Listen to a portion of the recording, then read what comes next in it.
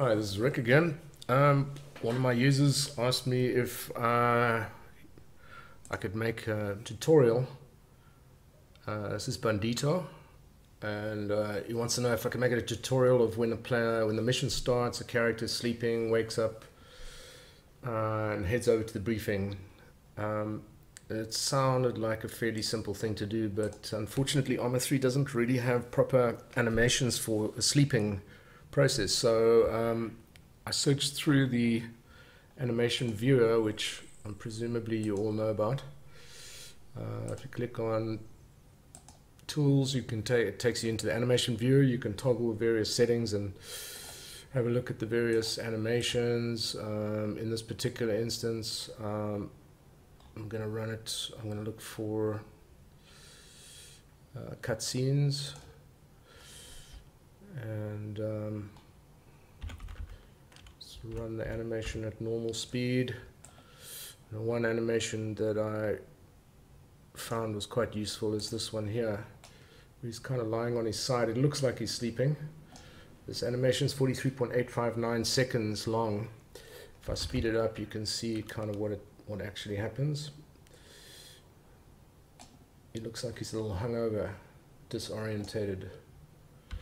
So anyway, after searching through all the different animations, I came up with some nice static animations or ways of making these objects static. So you could have a a bunk a bunker with some uh, or barracks, I should say, with some some uh, some bunks in it and you could put some AI into those and the tricky part with this is that a human player um, given that we've got limited animations to, to work with the only way I can get a, a, human player to wake up from a sleeping position is to have him on the floor if you position him here he's going to suddenly at a certain point when he transitions to the normal default animations he's going to go into a standing position um, and I've tried a number of things, but I can't get the process to work reliably. Because uh, ideally, you'd like him to sort of kind of swing sideways onto the bed and then in a sitting position, then jump down. Um, and I can't find the transitional animation sequence that, that makes it look realistic. So um, for the time being, you'd be you'd have to be lying in a on a sleeping sleeping um, sleeping bag. So anyway, so let's just see how these different ones work. Very short little scripts. Um, Bandito said uh, if I could try and do it with the least amount of code possible. So uh, that's what I'm going to do. So basically I've copied uh, all of these into the debug console and I'll show you how that works now. Um, there are two options for the for the lying statics, um, the static animations. One is lying wounded loop and the other is just um, basically lying on your back. Um, then there's the third one, which is the one where he's lying on his side, which we just saw now. The only way to get these animations to work reliably is to obviously position the object over the uh, bunk bed. In this case, I named the bunk bed 1 uh, for each of the different bunk beds. Obviously, one bunk bed has got two layers. Um, I then disable the object called Sleeper, which is the guy, AI. Uh, disabled his animation ability so he can't switch into other animations. Um, I switch move him into the unconscious stand-up position. Now this is a 43.859 uh, uh, second animation. So you need to force uh, stop this animation before it starts playing through. Uh, so you do that by disabling simulation on the object. Um, then set the direction to the bunk bed and so he will basically lie in the right direction. Um, same thing applies for each of them. Disable simulation on the object so that they are static and they will just lie there for basically forever. So if I've set up a little example here, so if I go into this player's character,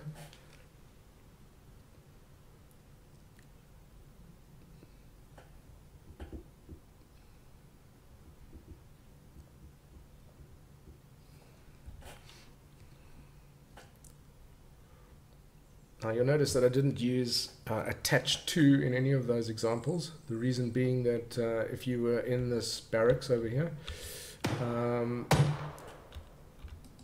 you wouldn't be able to attach it to the bunk bed. You could attach it to the barracks and then offset it, but that's kind of a tedious process. Um, so basically, let's just execute that little script. I've just copied and pasted it into the debug console. Okay, so we have all these people lying down.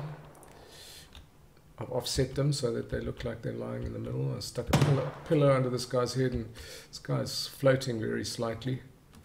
Um, can't remember which one that was. That was the guy that's Sleeper 2. So Sleeper 2 needs to be reduced in height slightly. So Sleeper 2, so make it 1.21. Is that right? Top band facing, well, okay, just a second option. Top bunks to 1. Yeah, you can see him dropping. Make it 1 9. Kind of looks realistic now. He's slightly sunk into the bed, which is what you'd expect. And um, and they're statics, they're not going to move.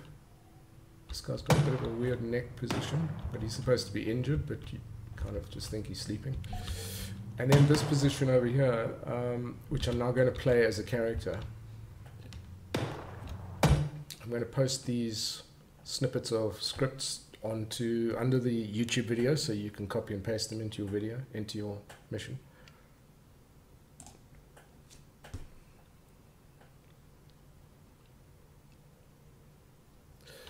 Alright, so let's just see, we have nothing running under sleeper 4. We'll grab sleeper 4's little bit of script. This is the one that I'm going to play as a character. Okay, so now we're going to play as character.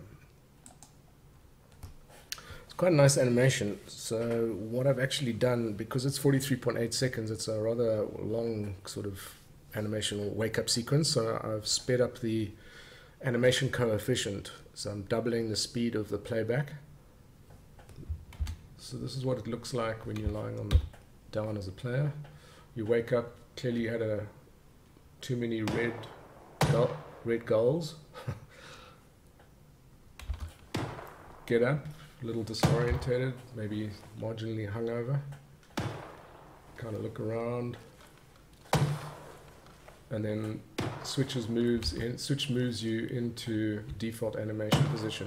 So it's actually reasonably good in terms of the transition. There is no as i said transition very clear transition between that animation and a normal default animation. So there is a slight glitch but but the fact is that it works pretty well. So i think that's a solution for your to your question. Um, let me just show you how that little script works So I run it in non-scheduled because I need to use a sleep function. Okay, so there's no handle to the script. I'm not passing anything to the script, so I'm just saying spawn. Then sleeper 4, which just uh, happens to be this guy. Sleeper 4. And um, I switch move him into this animation state. I set the direction to bunk of to the direction of bunk 3 plus 45 degrees uh, because he's actually angled. The default animation has got a 45 degree offset. I then move him into bunk 3 and uh, I move him slightly back in the bed because he's slightly curved. So you want him to be positioned in the center of the bed. Um, I move him slightly up towards the end of the bed. Um, and I, and, I, and I raise him just slightly above the ground so it looks like he's not sunk into the ground because you've got the sleeping bag underneath him. I then uh, change the animation coefficient, so I'm running this animation at twice normal speed. I sleep it for 21.5 seconds. Remember the original one was 43.859 or something like that. So approximately, I found that's the best sleeping time. Excuse the pun. Then uh, I set the animation coefficient back to 1 and I switch move him out of the current state because um, I found that the end sequence, sometimes if you use a wait until animation phase is completed on this animation, there's a kind of a weird thing that happens. So I actually rather would speed up the animation um, and then basically switch move him out of it. And you get, as I said, you as you saw, you get a reasonably decent kind of completion or transition to the basic uh, basic animation. So I'll just play as character again on this and you can see that process working one more time.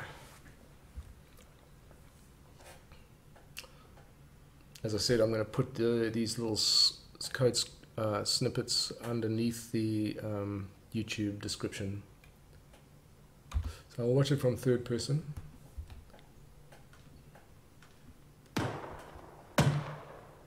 So he puts his hand up like he's blinded by the bright light, which is kind of cool because he's hungover. Looks around like, where the hell am I? Oh crap, I'm still in the army. And then, and then ah, uh, it switch moves him out. So it's reasonably good, the transition. So I hope that was of, you, of use to you. If you haven't subscribed, please subscribe. And thank you very much for watching. Cheers.